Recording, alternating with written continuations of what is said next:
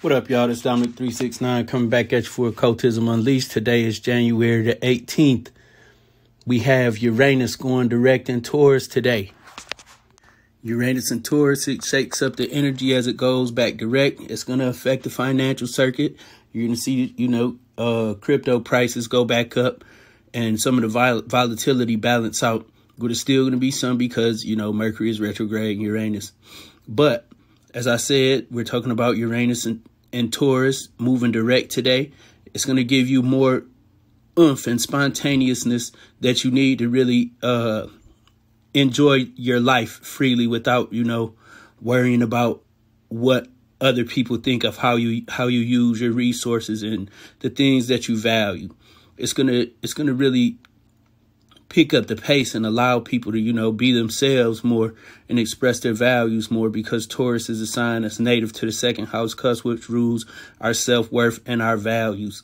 They're gonna the Uranus, you know, direct is gonna help stabilize those values and allow those sudden changes to occur more easily.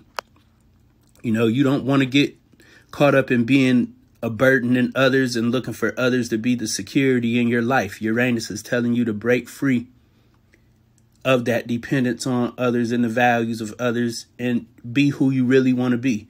And you're going to find that you get more prosperity in your life, more balance in your life, and more stability when you're not trying to keep up with the Joneses and be who everybody else wants you to be in life. And I understand to a lot of people this is a paradox because Taurus is a fixed sign and, and it based on the ability to be stable and, and non-conforming and bull bullheaded. But Uranus asks for, you know, change, man. It, it's it's requesting that you break these adverse patterns in a positive way that allows you to be loyal to, you know, maybe your family, your roots, or your personal image, but at the same time, being loyal to who you truly are and really bringing your individuality because Uranus is the sign of, of individuality. You know, create by embracing your individuality, it helps you create a vision for a future by being persistent and you know you're you're demonstrating those attributes of yourself that make you truly unique. When people see that you have unique attributes, it allows them to value you more for the genuine and unique shit that you bring to the table.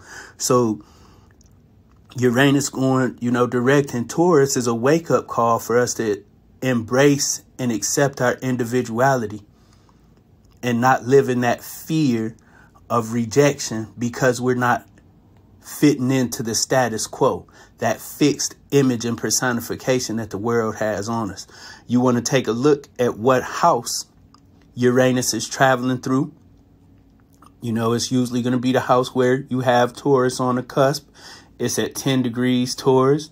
So if your first house starts at 4 degrees Taurus, it's in your first house. But if it starts at 14 degrees Taurus, then Uranus is going direct in your 12th house and you need to evaluate it and its house placement accordingly. Peace.